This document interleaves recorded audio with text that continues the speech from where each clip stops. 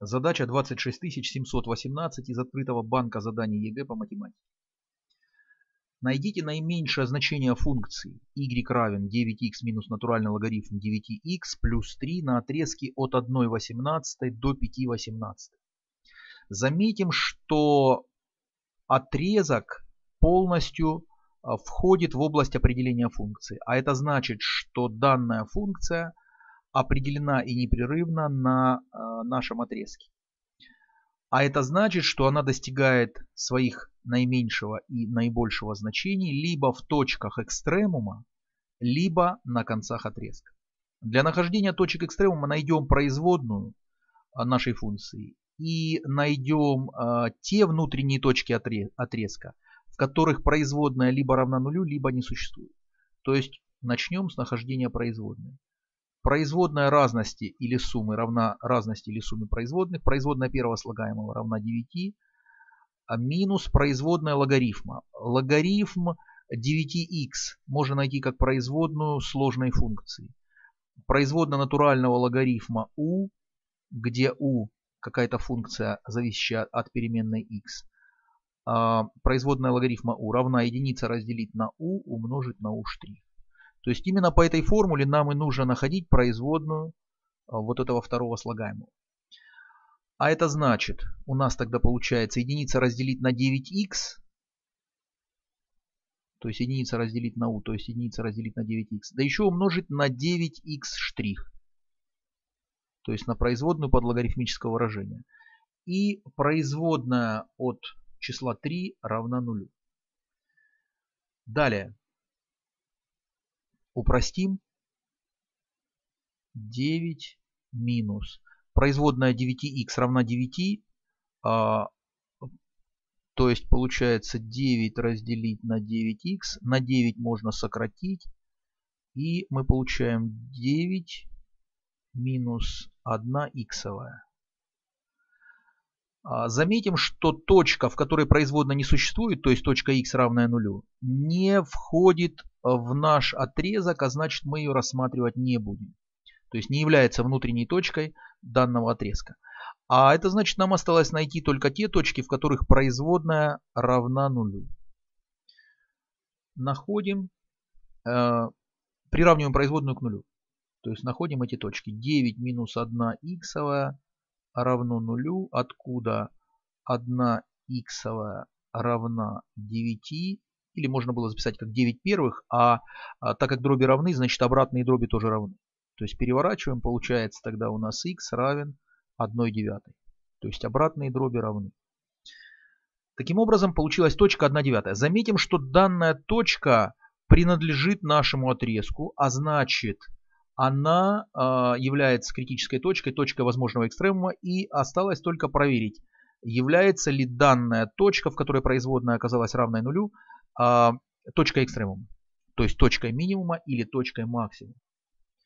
Покажем эту точку на числовой оси.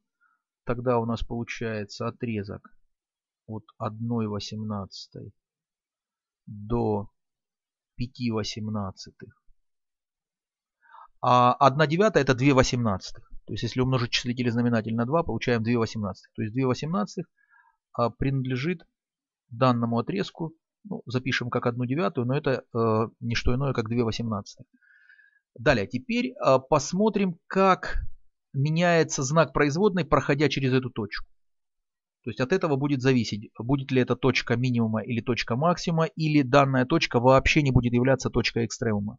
Если производная знак не меняет, то данная точка не будет являться точкой экстремума. То есть определим знак производной слева и справа от точки возможного экстремума, от точки 1 а, девятая. А, подставим 1 восемнадцатую а, в нашу производную. То есть вот сюда нам необходимо подставить 1 восемнадцатую. Подставляем вместо переменная x 1 18, это единица разделить на 1 18, это все равно, что единица умножить на 18 первых, на обратную дробь. И получаем тогда 9 минус 18. А, получается минус 9. Это значит, что слева от 1 девятой производная отрицательная. Далее, подставляем а, точку справа. Справа можно подставить 4 восемнадцатых, то есть 2 девятых. 2 девятых. Подставляем 2 девятых. Единицу делим на 2 девятых. Это все равно, что единицу умножить на 9 вторых. Это получается 4,5. 9 минус 4,5 получается 4,5. То есть производная положительная. А это значит функция слева от точки 1 девятая убывает, а справа возрастает. Таким образом, x равное 1 девятой является точкой э, минимума. Можно записать точка минимума.